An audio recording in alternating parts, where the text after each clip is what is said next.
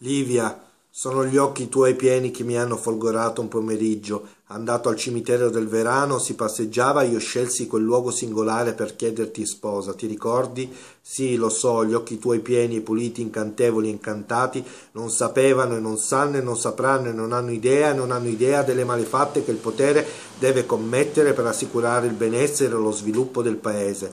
Per troppi anni il potere sono stato io, la mostruosa e inconfessabile contraddizione perpetuare il male per garantire il bene, la contraddizione mostruosa che fa di me un uomo cinico e indecifrabile, anche per te.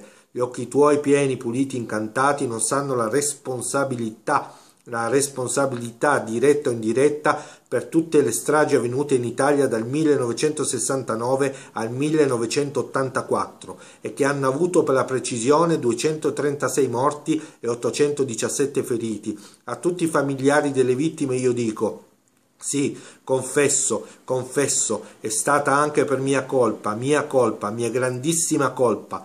Questo dico anche se non serve. Lo stragismo per destabilizzare il paese, provocare il terrore, isolare le parti politiche estreme per rafforzare i partiti di centro come la democrazia cristiana.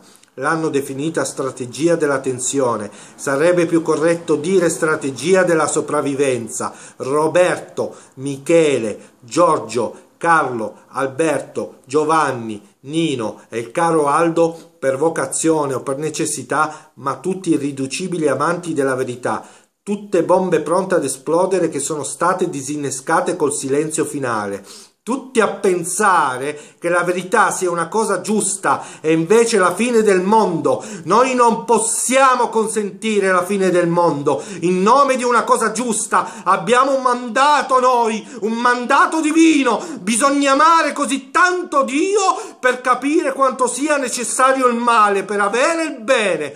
Questo Dio lo sa e lo so anch'io tratto dal film Il Divo di Paolo Sorrentino, attore Tony Servillo, discorso di Giulio Andreotti sul potere, dedicato a mio fratello Massimo. Ciao, ti voglio bene.